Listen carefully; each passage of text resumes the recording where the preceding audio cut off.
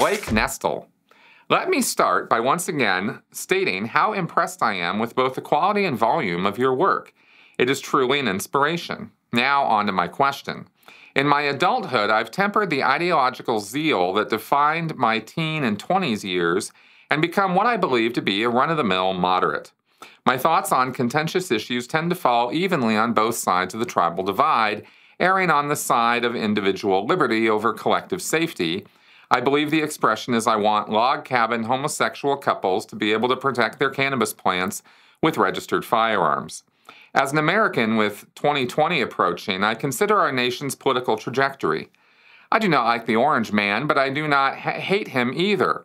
I look to the viable alternative options as a person supportive of individual liberty with great disappointment. Save for candidates the American left would seemingly never rally behind in spite of being completely congruent with their ideology, Gabbard, Yang, I have heard each of these people, some of whom sadly enough were once members of our justice system, talk exuberantly about violating the constitutional right to own firearms. I'll disclose some personal details in hopes of revealing my bias without being boring. I grew up with a father who taught me and my sister to shoot. I learned invaluable lessons about the cycle of nature and that being charitable didn't just feel good, but that it did good as well. Those lessons still inform my decisions today as a man who believes we humans are custodians of this earth, and seeing as it has been so good to us, we have a duty to be good to it.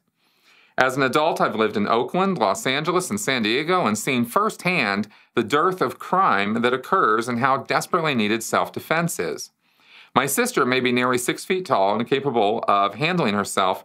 However, I can be intellectually honest in saying that against a man of comparable or greater size, she would have a real issue in defending herself. How can I, in good conscience, vote for a person who would actively work towards making self defense for such a person more difficult? Moreover, the logic behind further gun ownership regulation just isn't there. If guns were the X factor in violent crime, then the country with the most guns would have the greatest violent crime rate.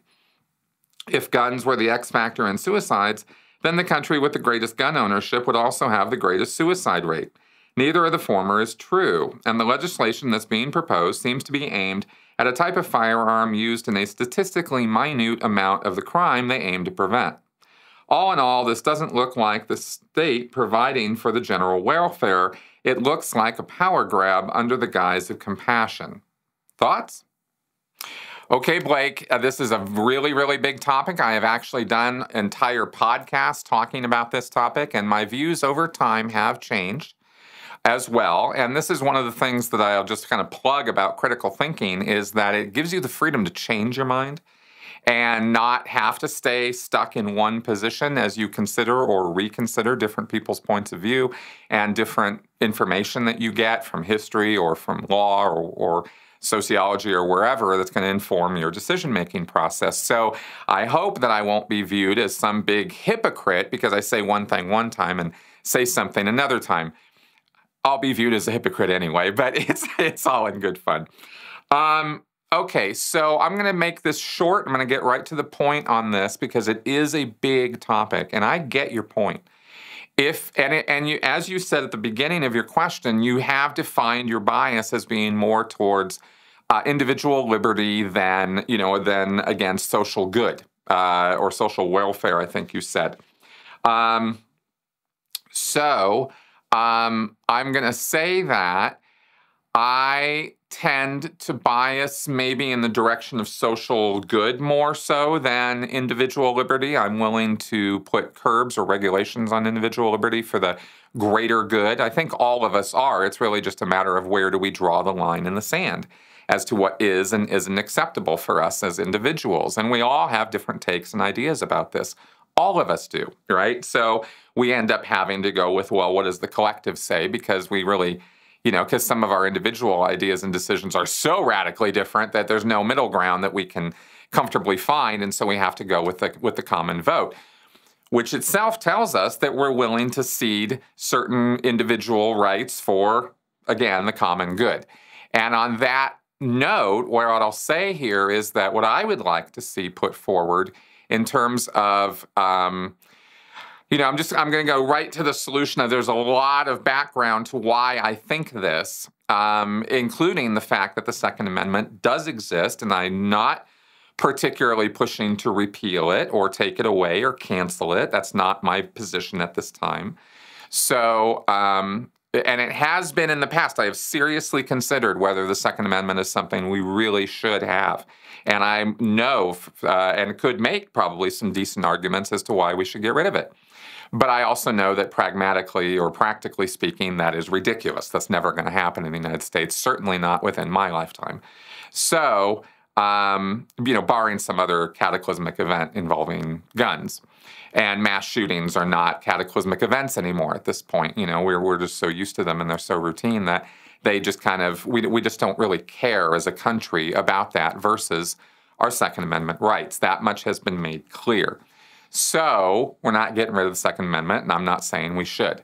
Nor am I saying that people should um, that we should do um, mandatory gun buybacks in the United States. I would actually like to see something like that, but I know that's also just not a reality, both ideologically and and in terms of uh, our Constitution. So we're not going to do that. So, is there anything we can do to make things safer? Because, it, you know, when a mass shooting happens and people are outraged and children have died and things are at their emotional, you know, worst, um, people want something to be done. They don't want to continue to see mass shootings happen. And it is a uniquely American phenomenon. It does not happen in other countries anywhere near the rate that it happens in the United States. So say what you will about how we are statistically in a safer place in the United States than other countries, and that's true. And violent crime is down worldwide, not just in the United States. Um, you know, the guns are not helping or hurting one way or the other on that, right? So I'm so it's not on that basis that I'm making the argument, not on a statistical basis that perhaps we should, you know, invoke some more controls or regulations about gun ownership. It's how do we prevent or put some realistic barriers and some realistic regulations in place that make it harder for potential mass shooters and, you know, clearly, notably, clinically insane people from getting guns, getting their hands on these on these high-powered weapons. And my proposal is a licensing system similar to how we license cars. It is not a federal program. Every state has their own licensing program that they that they administer themselves, but they are required to do state licensing of motor vehicles.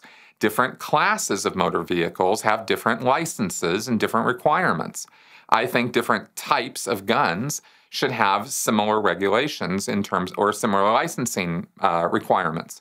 So you have like say, and, and that is just arbitrary. It doesn't have to be done this way, but say pistols versus rifles versus machine guns versus high caliber weapons, right?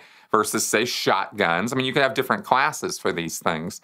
Um, and but I would leave it up to the gun uh, people who are well versed in how to do that to break down what the categories should be and what the testing should be. There should be theoretical testing or, or you know written tests, and there should be practical testing, and there should be education. Like you should have to go to classes in order to learn how to use guns. In the same way, 100% across the board in the United States, we have all agreed that vehicles, motor vehicles, should be regulated this way.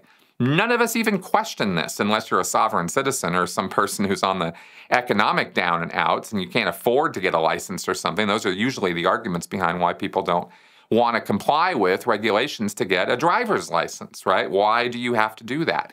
Because you're sitting behind uh, you know, a vehicle that is that weighs, you know, 2 or 3 tons, if not more, and is capable of mass murder. I mean, you you could actually do a whole lot of damage to structure and to people it, behind the wheel of a car or a truck if you don't know what you're doing.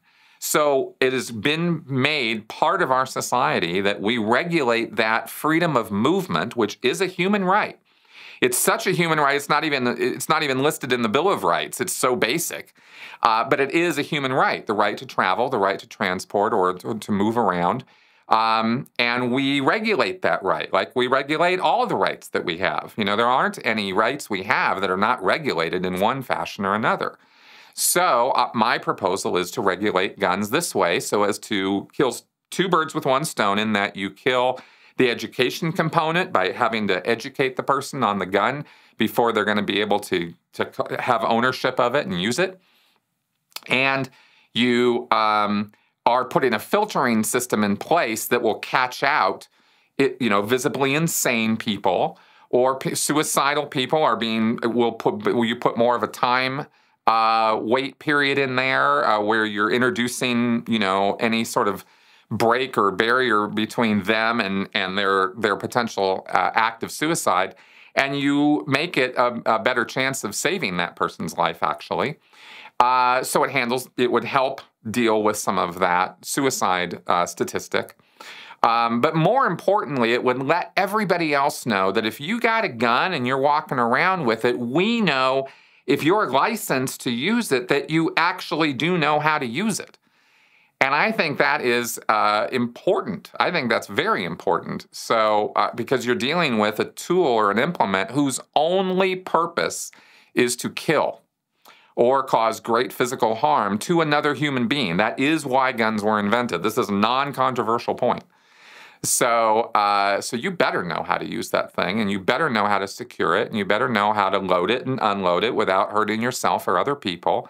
And right now, there is no guarantee that you would be that that just because you can go buy a gun, that any of that would be true.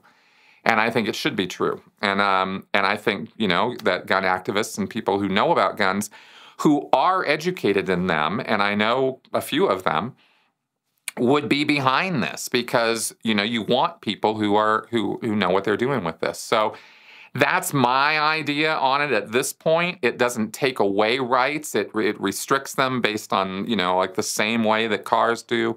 And that's really not a whole lot of a restriction at all at the end of the day. And it results in safer, you know, a safer situation. So um, that's my modest proposal.